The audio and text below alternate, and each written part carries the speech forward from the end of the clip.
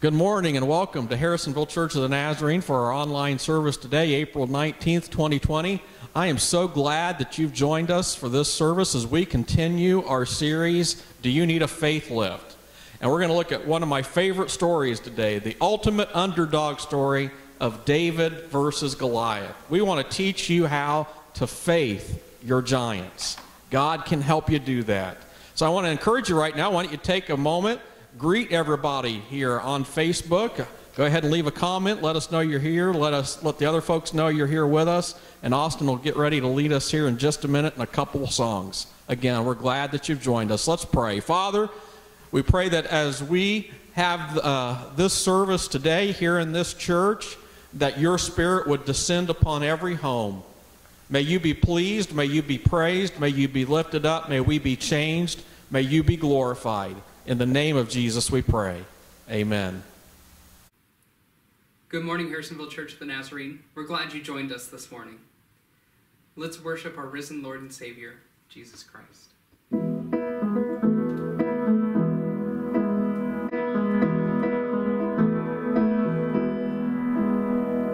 Come, let us worship our King.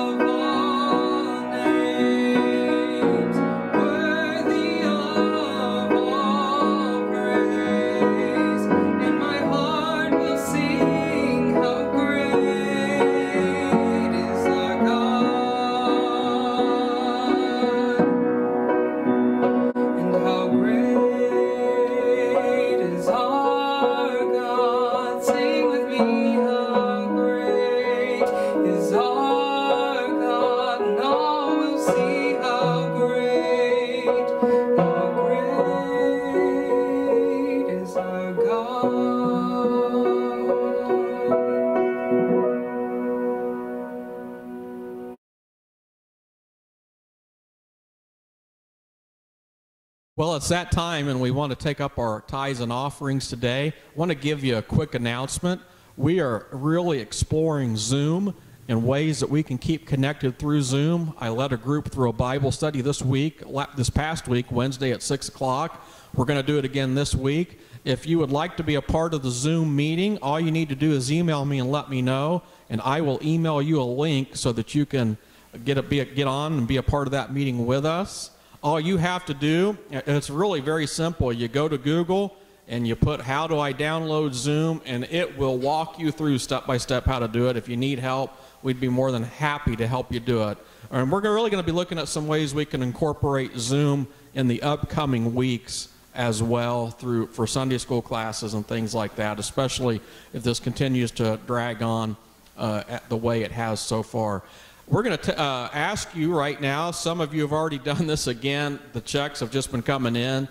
People are getting online and giving. You can do giving right now at harrisonvillenaz.org. Just go to the website. The bottom of that homepage has a link for giving.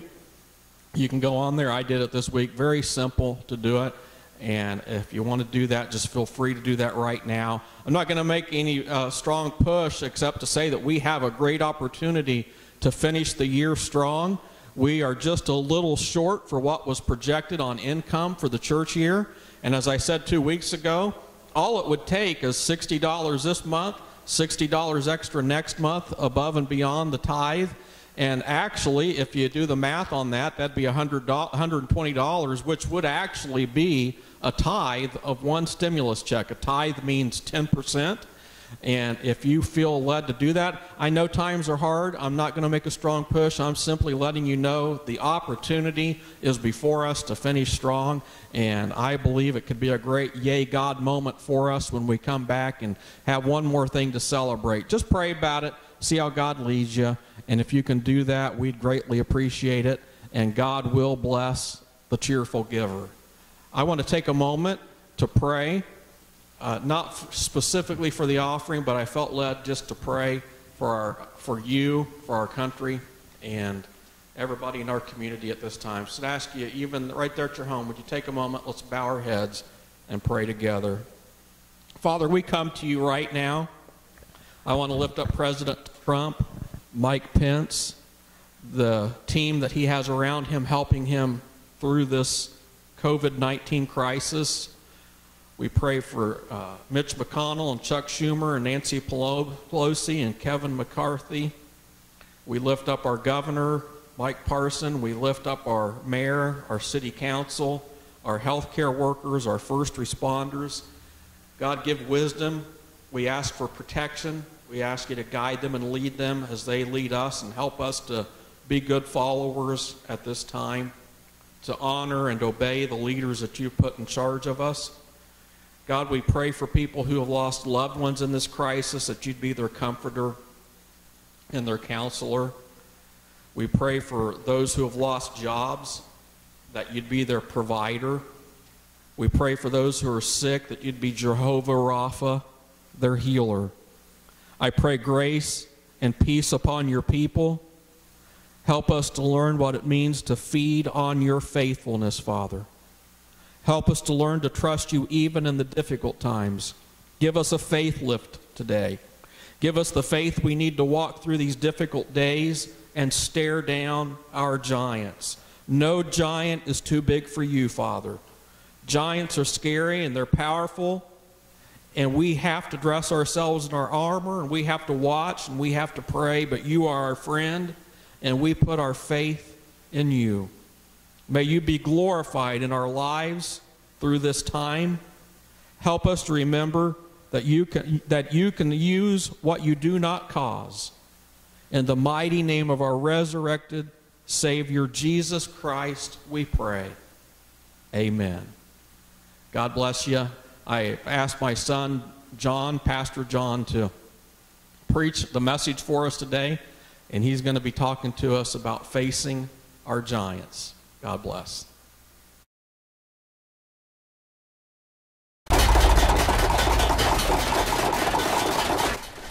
To secure the promised land, the Israelites must defeat the Philistines. But King Saul has lost God's blessing. And now he faces the Philistines' greatest champion. Goliath.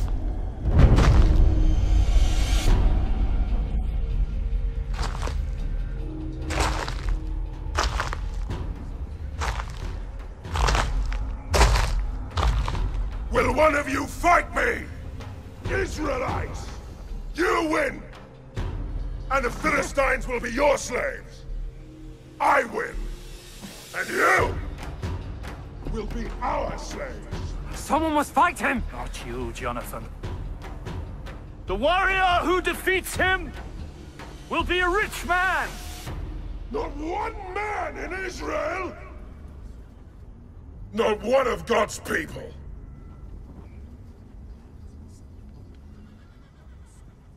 I'll do it. David, you're no soldier, you're a shepherd. Yes, a shepherd. As I protect my sheep, God will protect me. Where is your faith? Where is your God? I will kill him. You'll need this.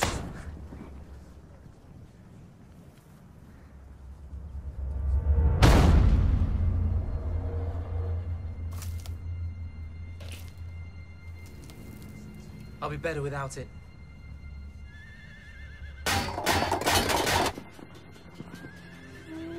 Yea, though I walk in the valley of the shadow of death, I fear no evil. You are with me. Thy rod and staff, they comfort me. You anoint my head with oil. My cup overflows. Surely goodness and mercy shall follow me all the days of my life.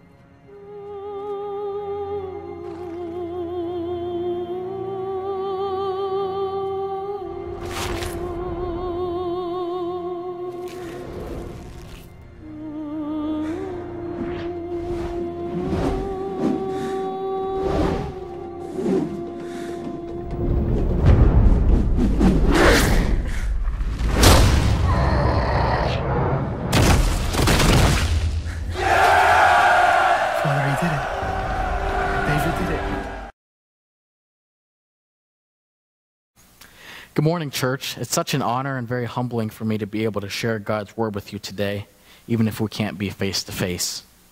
As I was reflecting on our sermon series of Do You Need a Faith Lift, I was very intrigued about how much honor and prestige we give to the quote unquote winners in today's society. Here in Chiefs Kingdom, of course, we're celebrating our first Super Bowl championship in 50 years, and just five years ago, the Kansas City Royals celebrated their first World Series championship in 50 years. Both are very worthy and amazing accomplishments for these two teams. And I was, uh, I was thinking more about them. And I was thinking about the teams themselves. Their very names invoke a sense of honor and a sense of awe, the Chiefs and the Royals. Our most popular shoe brand here in America, Nike. The very name Nike means victory or to conquer in the Greek. We don't have to have such an amazing memory to remember the newly crowned heavyweight champion of the world, Tyson Fury, as he rode into the ring on a literal podium with the throne and a crown on his head. And to his credit, he did end up winning. Even in our scripture, we see Paul remind us in 1 Corinthians to run in such a way to get the crown. Or in the words of Christ, he says, To those who have, more will be given, and to those who do not have, even what little they do have will be taken away. The horrible or beautiful depends on which side of the fence you are on. Truth. is that history is written by the victor. A hundred years from now, we're not going to be highlighting Emmanuel Sanders being overthrown by Jimmy Garoppolo as much as we're going to highlight the amazing comeback in the fourth quarter of Patrick Mahomes. In the same way, we just celebrated Christ's victory over death 2,000 years after the fact. He ascended into heaven now, and he rules over the world. And 50 days after his ascension, the Holy Spirit descended upon the world and connected forever heaven and earth. And this Pentecost is still alive and raging today. We're so caught up in today's modern America of Christianity being just a religion, just something we do on Sundays that doesn't apply to the rest of our life, that we don't realize that it's much, much more than that. It's a reorientation of universal world history that's been rewritten from an endless bloodbath from one world power to another to that of a king who emptied himself out of heaven. He was stripped naked and he was murdered on a cross. And he rose bodily from the grave and is now reigning as the true Lord over the earth. The question asked of many Christians today is why evil? Why the coronavirus? And I could go many hours talking about this, but I, I don't feel like any of you want to hear that, nor do I think it would do any good, as philosophers for the last 2,000 years have tried to answer this to no avail. But I'm here to encourage you today that even in the midst of this pandemic, and even in the midst of all our giants, Christ is still king. God is still in control, and God is going to get us through this pandemic. But I'm also here to warn you that while Christ promised us eternal life and he promised us victory over death, Sometimes that victory doesn't come in this life. Sometimes we have to suffer spiritual death and sometimes even physical death to attain all the glory that God has for us. We're commanded to take up our cross. We're not commanded to be victors, we're commanded to be sufferers for Christ's name's sake.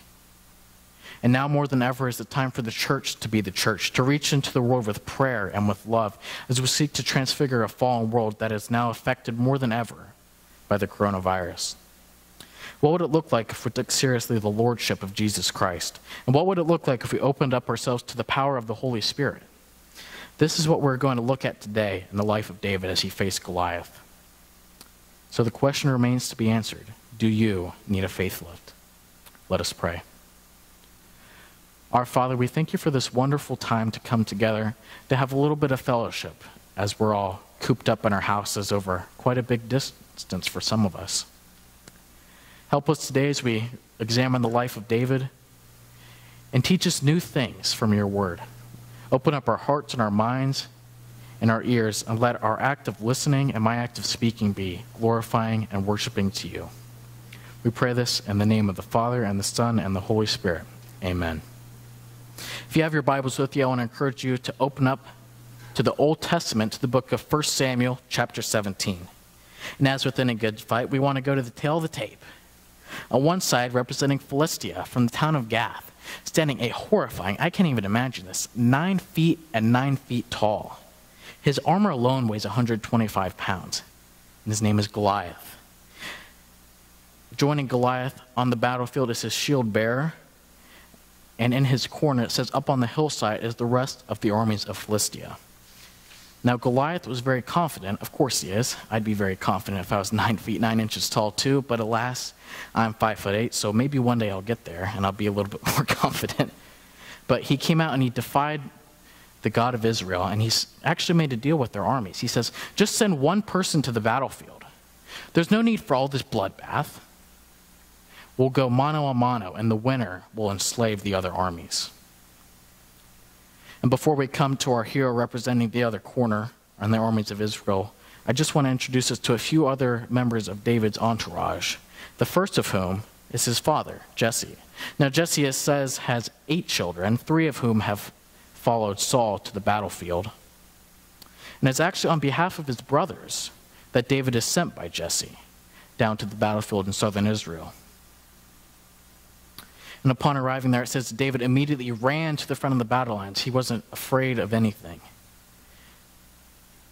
And I just want to highlight a note just right here before we get into the text that David runs to the front of the battle lines, but they've already been there for several days.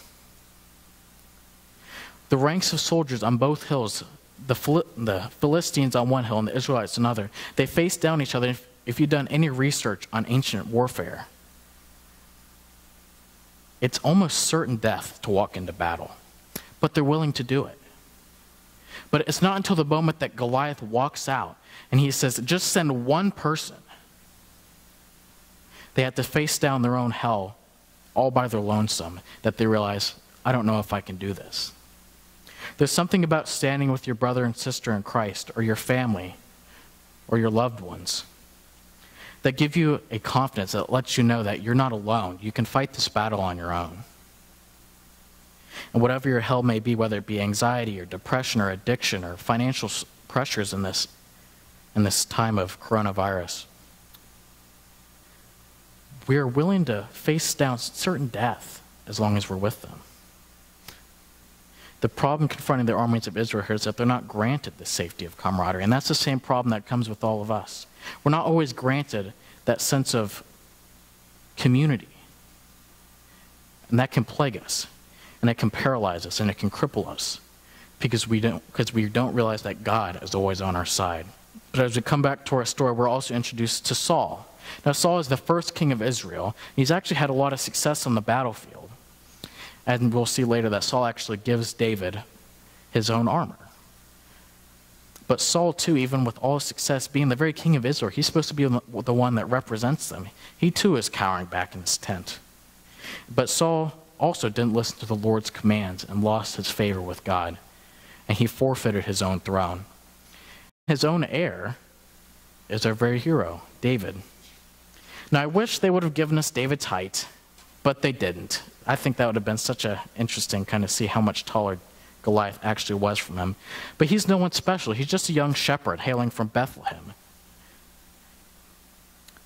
And he doesn't have any armor. He's not armed with a sword or a spear or a javelin. It says he's armed with just a sling. And to use David's own words, the name of the Lord. What an amazing weapon that is. So, in essence, David is the exact opposite of what Israel needed. But that's exactly how God planned it. The shepherd has come to protect God's sheep and provide deliverance from evil and certain death. And as we look through this at this picture with New Testament eyes, it's such an amazing picture as we see on one side the Philistines and we see on the other side the armies of Israel. And it reminds me of Jesus Christ on the cross with the two thieves in between them, or on each side. On the one side we have Philistia, who's hurling insults on the God of Israel. On the other side, we have people looking to the shepherd for their salvation and liberation from death. And in the middle is the culmination and the ultimate battle that brings their salvation. And as we'll see, the outcome for both is quite remarkable.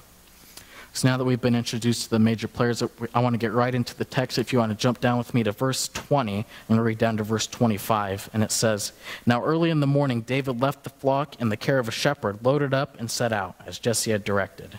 He reached the camp as the army was going out to its battle position, positions, shouting the war cry. Israel and the Philistines were drawing up the lines, facing each other. David left his things with the keeper of supplies, ran to the battle lines, and asked his brothers how they were. As he was talking with them, Goliath, the Philistine champion from Gath, stepped out from his lines and shouted his usual defiance, which he had done for 40 days. And David heard it. When the Philistines saw the man, they all fled from him in great fear. Now the Israelites had been saying, Do you see how this man keeps coming out? He comes out to defy Israel. The king will have great wealth, will give great wealth to the man who kills him. He will also give him his daughter in marriage, and he will exempt his family from taxes in Israel. The first thing we note here, as I noted slightly above, is that David does not shy away from the conflict. He runs straight out to the battle line, he runs straight up to his brothers and he was willing to fight with them. The second thing that I want to note here is that we see the army show up every single day for 40 days. I mean, that's a long time. I don't even think we've been quarantined for four days. Imagine being quarantined up on a hill just expecting certain death for 40 days. That's a long time. And they show up every single day, just thinking maybe today the problem will go away. Maybe today the tide will turn in our favor. But they don't see a change every single day. Goliath steps out and challenges them. But all they have to do is step out in faith. All they have to do is trust in God for a change in their circumstances. They even have the, the added prize of the king's daughter. They don't have to pay taxes. It's the promise of power and prestige and riches. But even with all of this, the people are still paralyzed to go out on their own and to face down the evil of Goliath. And I want to go back a little bit to our illustration we made above that there are times when our giants are there. There are times when we see it and we face it in the eye and we name what's really coming and really eating at our soul. And we show up every single day and we think today will be the day of our salvation. We see the light at the end of the tunnel. If only we can just muster up enough strength, we can face our own giants. But we're stuck and we feel ashamed and we start to feel guilty because we don't feel like we can do it all on our own. And we see this as David's brother even comes down. And he starts to scold David. He says, You've just come here to watch us all be killed. You just want to watch the battle. You're bloodthirsty. And I sat there and I thought about David's brother, the eldest of Jesse's bunch, who just one chapter before had to watch as the youngest brother, not him, was anointed to be the next king of Israel. I can just imagine how painful that must have been in ancient times. The oldest child, especially the oldest son, was the one that inherited everything. But all this honor, all the prestige wasn't given to him, it was given to the youngest. And now David has come and he wants to steal not only his rightful, maybe not rightful, but his chance to be king, but he wants to steal his glory on the battlefield that he is too afraid to claim for himself. To be frank, the armies of Israel needed a faith lift. But David is not fazed by the negative people in his life. And I want to give a life lesson to all of us that if we only listen to the negative people in our life, we will not get anything done. The world is filled with negative news, it's filled with negative people in our workplaces, even in our homes sometimes. We have people that always want to speak, and they always want to speak negatively because they don't have the faith to face their own giants. But David is unfazed by this and even says in verse 32 that he goes and he decides that he's going to go face Goliath all by himself. So this brings us to our next point that before we ever go to battle, there must be a time when we make the, the conscious decision to fight. Not only do we have to name what we're facing, we have to decide what we're going to do about it. We see this in the New Testament as after Christ is baptized and he's led into the wilderness by the Holy Spirit. And the devil comes and he starts to tempt him. He says, Turn these stones into bread. Jump from the height of the Temple Mount. Have the angels come and save you. If only you would bow down to me, I will give you all the kingdoms of this world. But Jesus, in his resolve, he denies these temptations, which he denies the temptation of bread, of food, of natural sustenance which is the temptation for miracle, the temptation to be subservient only to his divine will and only to his divine nature. He denies the temptation for miracle and of mystery as he is tempted to jump from the Temple Mount and have the angels descend from heaven and keep his foot from striking against the stone. And this protects our own faith. We're not stuck to worshiping just an act if Jesus was to be saved and we would have seen that, we would have definitely been in awe. But that would have been a proof. God doesn't want us to seek for proofs from him. He wants to he wants those to come and worship him in spirit and in truth, who wants to come with God, even in the mystery, even when we don't have all our questions answered, we still have faith. And we still declare Jesus as Lord. And he, and he also denies the temptation, possibly the greatest temptation for mankind, the, of authority.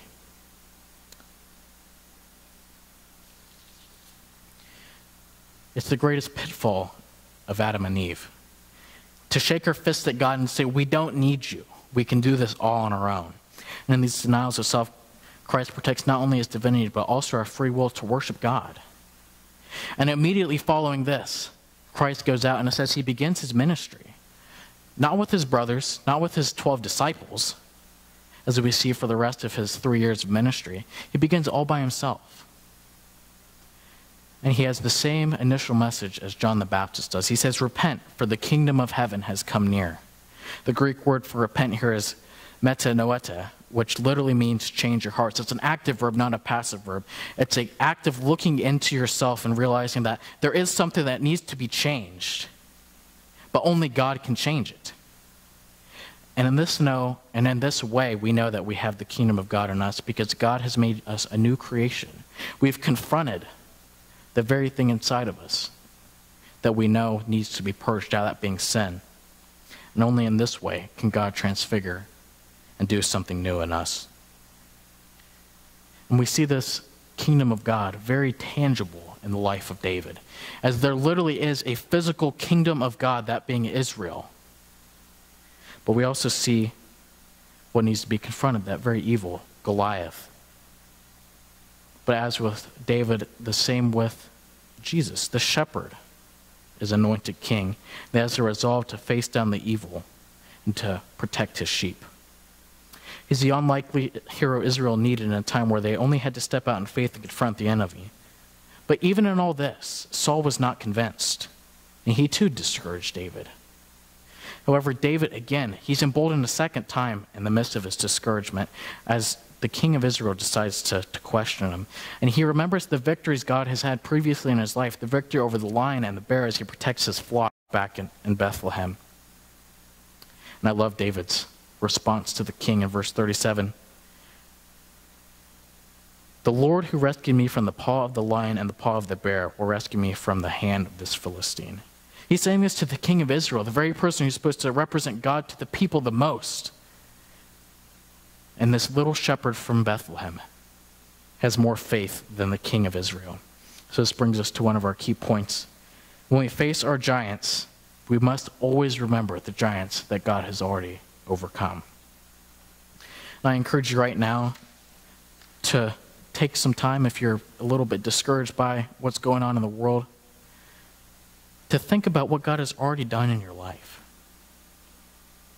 And if you can't think of a lot of examples, just look straight to Scripture. There's so many amazing, amazing examples. I mean, even look at the Exodus. As God literally took his covenant people and brought them out of slavery. And we see this again in the New Testament with Jesus. And as we tie this into the Exodus, that we get so caught up with Jesus' death on the cross and his resurrection only being for the spiritual side of things that we miss everything that God has for us. Because if God wanted only a sin offering, he only wanted an atonement for everything that has gone wrong in our life. Why would God not have Jesus crucified on Yom Kippur, the specified day where the people became right with God through a sin offering? Instead, God chose the Passover, the remembrance that God brought the people out of physical slavery as well as spiritual slavery, out of economic oppression and political oppression, that God wants to redeem all aspects of our life. And moving on, I also want to point out that in David's confrontation with Saul that we should always be ready to share our testimony. I pointed this out a few weeks back in our Bible study, but I think it's helpful to mention again that your message of, deliver, of deliverance that God has done in your life will help someone else today, but it'll also help you later. You never know when someone just needs an encouraging word to get through their day and to face their own giants. The final thing I want to point out here as we move along further down in the passage is that Saul offers David his own armor, but David says he can't go out because he's not used to it. We can't fight our battles with someone else's armor. We can't live out our faith through the life of someone else.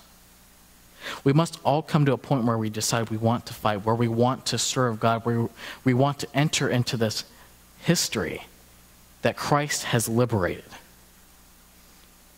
And this appears to us in different ways.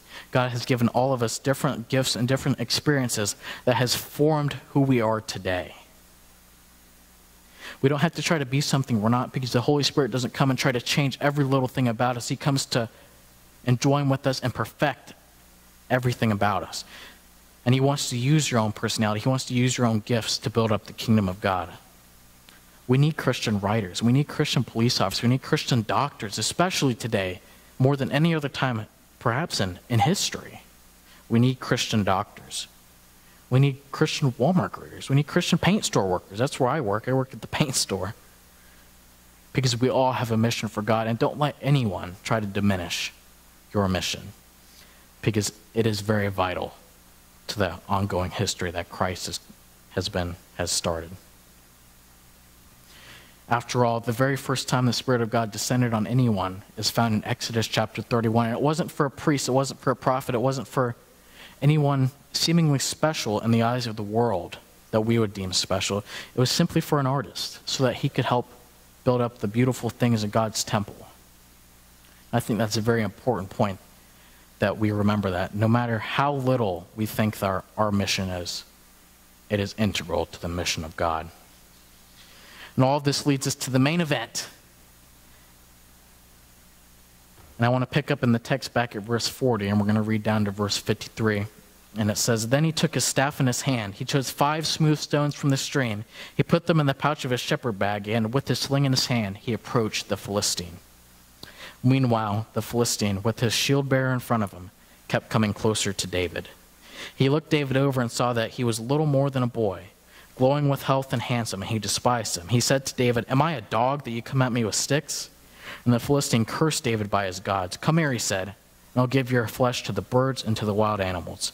And then David said to the Philistine, You come against me with sword and spear and javelin, but I come against you with the name of the Lord Almighty, the God of the armies of Israel, whom you have defied.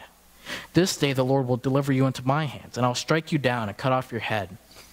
This very day I will give the carcass of the Philistine army to the birds and to the wild animals, and the whole world will know that there is God in Israel. All those gathered here will know that it is not by the sword or by the spear that the Lord saves, for the battle is the Lord's, and he will give all of you into our hands. And as the Philistine moved closer to attack him, David ran quickly toward the battle line to meet him. Reaching into his bag and taking out a stone, he slung it and struck the Philistine on the forehead. Then the stone sank into his forehead as he fell face down onto the ground. So David triumphed over the Philistine with a sling and a stone. Without a sword in his hand, he struck down the Philistine and killed him. David ran and stood over him, and he took hold of the Philistine sword and he drew it from his sheath. And after he killed him, he cut off his head with the sword. When the Philistines saw that their hero was dead, they turned and they ran. Then the men of Israel and Judah surged forward with a shout and pursued the Philistines to the entrance of Gath. And when the Israelites returned from chasing the Philistines, they plundered their camp. So, the most unlikely of victories, as Pastor Steve said, is the ultimate underdog story. The young shepherd who didn't even come to fight has now defeated the epitome of evil. And I'd just like to point out that Goliath needed his shield bearer to go in front of him. David ran out seemingly on his own, but he wasn't alone. The Lord was ahead of David in his battle. And as we have seen as we walk through the story, it's not just a one step process. We don't just show up one day and we decide today is the day we're going to change everything. Today is the day that our battle is going to be won. It has to, it's a process. First, David had to name his giant. He had to realize that Goliath is really the thing that's standing between me and my victory. If we cannot name what our giant is, we can never adequately face our giant. And this will always be an obstacle for our life and in our faith. Second, David had to make the conscious decision to fight and to change his circumstances. Third, David had to prepare for battle. We saw this as David reassured the king, but also he reassured himself that the Lord will be with him. And then he goes and he gathers his weapons five stones. And David didn't gather this just because he thought he might miss four times. He gathered it because he was so sure that God was going to deliver him, that he was going to not only get Goliath, but he was also going to get Goliath's four brothers. That's how sure David was that the Lord was going to be with him.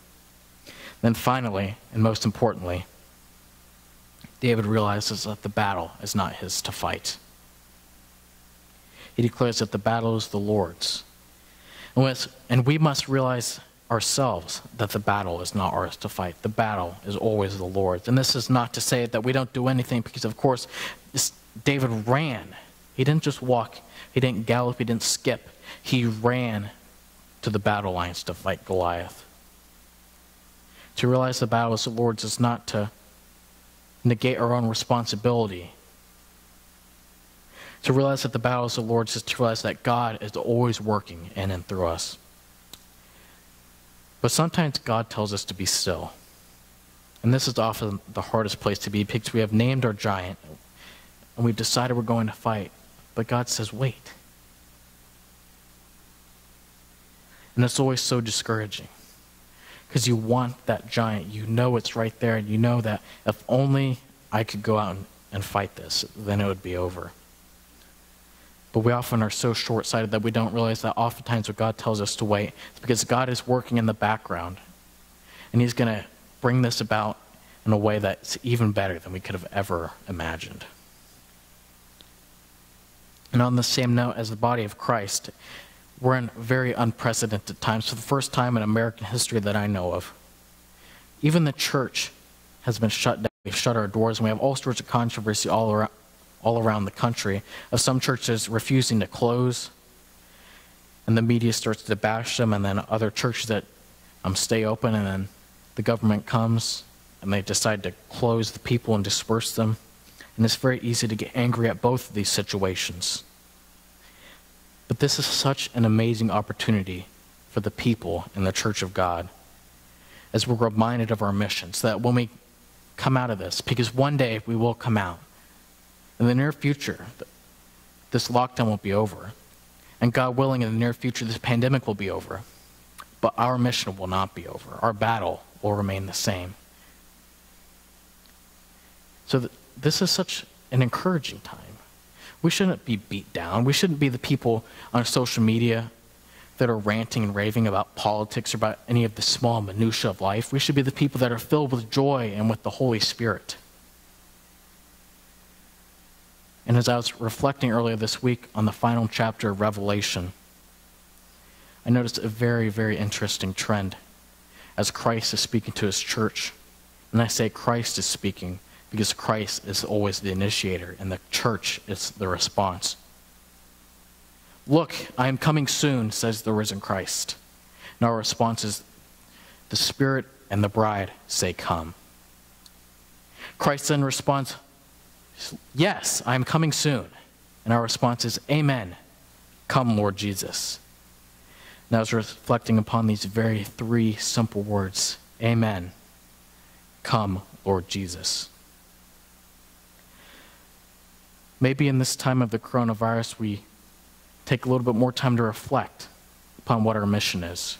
Maybe during this time of the coronavirus, we spend a little bit more time listening to God rather than trying to speak for God on social media. Maybe it's time that we stop trying to speak where it's not our place to speak. Maybe it's time for us to just simply be and just simply respond, Come, Lord Jesus. And while our reach into the world is limited, our God is not limited. God is still drawing the world to himself every moment. In the Church of the Nazarene, we call it prevenient grace. But we often like to dichotomize ourselves. We like to separate ourselves off and say, well, we're the church and they're the world. But we forget that God is still always drawing the church to himself. That's you and I, everyone listening to this right now. But only we're willing to listen and to respond. But I have to warn you if we actually get serious about listening to God, if we actually get serious about saying, Come, Lord Jesus, we actually start to get serious about proclaiming the resurrection and the coming of our Lord, the risen Lord, God will start to speak. And pretty soon he'll start prodding you.